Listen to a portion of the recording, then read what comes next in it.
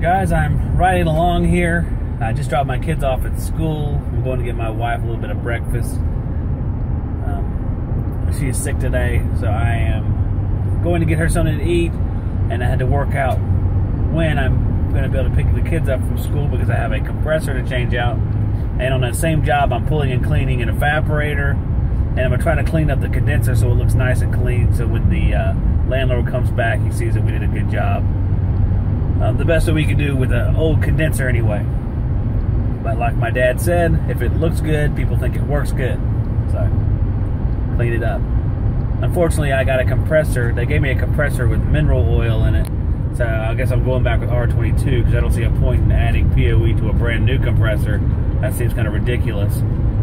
So I'm going to probably just use R22. That was not the original plan, but plans change. So that's okay. And I am heading out to get some Bojangles. It's Bo time! And bring it back to the house before I leave. These are old Copeland scroll compressor. Should be coming out today. Repiping her up with a brand new one. Do a little bit of cleaning too. Place the contactor and the capacitor. Looks like I already have a hard start on it from before. She was having trouble at one point. Looks like she finally gave up.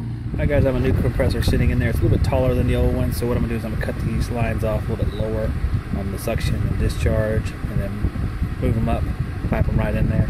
Pipe in some new copper. I'll get my three quarter and my half inch.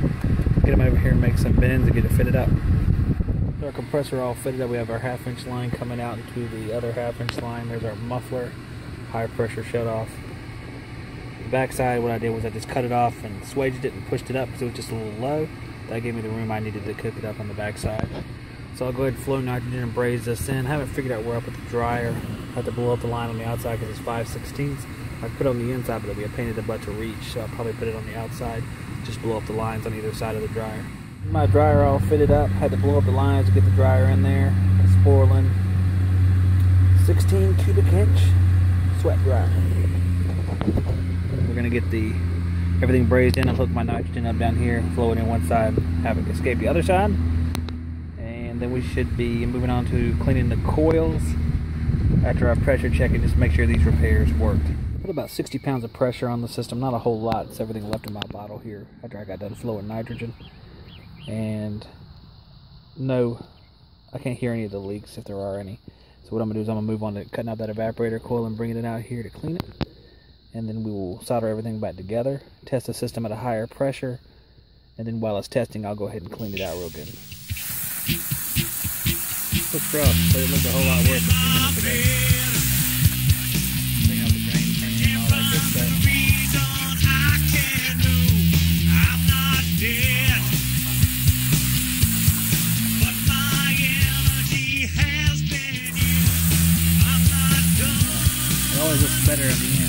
Could look a little bit better than.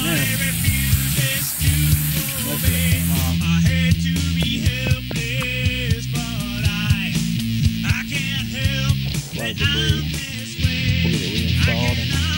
be doing a lot better airflow. Changed out my run capacitor to dual run, checking the compressor specs, and it needs a 45 and the fan needs 7.5 so it's a good thing I had this capacitor because I don't I wouldn't stock that normally anyway and new contactor. Our pressure I've been sitting on just over 200 for the whole time I've been working so that works out pretty good. So it looks like we'll be putting into a vacuum and I'm gonna start cleaning up my other stuff and getting ready to charge it up. I don't have any water out here. They don't have a spigot or anything. I don't know what the deal is with that. So I'm gonna vacuum off the unit as best I can. Won't be able to do a full cleaning but I'll clean it up a little bit. The only spot it was really dirty, it wasn't dirty inside of here, it was dirty inside the cabinet here, which is pretty typical. But I'm gonna try to clean that up a little bit with my lav brush. Guys, I'm going in here, I'm putting in some new valve cores. Putting in one right here, I'm leaving the other two out down here for to pull a vacuum because there's enough room on this particular ring. But I'm adding a new valve core here because my micron gauge has a depressor on it. So I can leave the valve core in on this one. So I'm gonna get ready to pull a vacuum get it down to 5 nanocrons and then move on. I got my vacuum pump running, we're down around 770 microns. We'll go down and we'll rise back up because gas coming out of the accumulator, I guess. So I'm probably gonna go grab some lunch, probably bob up and down and slowly go downward, and then come back and check on it in like half an hour.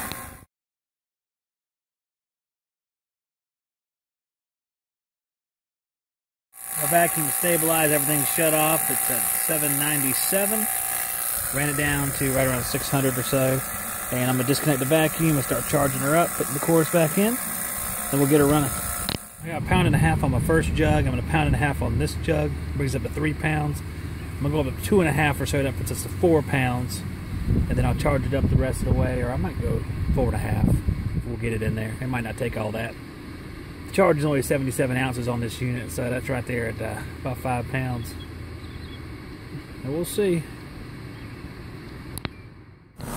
Guys, I have the Testo Smart Probes hooked up, just hoping they don't explode on me. Keep your fingers crossed. I do not want to die. I've added around, I don't know, four to four and a half pounds of refrigerator. I think it's right around four and a half. Compressor's running nice. You can hear it. Sounds sweet. Wonderful. I had to strap this one line off the discharge line, I think. I went up too close. Strap them together, they ought to be firm enough to hold up. I'll do that here while I'm watching everything. I'll put the pressures up right next to me there. You can see we're coming down. It is a little toasty inside, so our suction pressure is a little bit higher, even though we have trailer airflow. So I'll keep adding until we get right where we need to be, and then I'll catch up with you guys when that occurs. Guys, we're done charging up. You can see the numbers there. Everything's running really well. The old Rheem from 93 is keeping on trucking. Hell, she might be here for another 10 years. She might be here for another new coil one day. Indoor coil. Never know. Compressor series shiny. But I'm about to shut this thing down so I can take my stuff off of it, pack my gear up, head on to the next one. I used to have long to sing in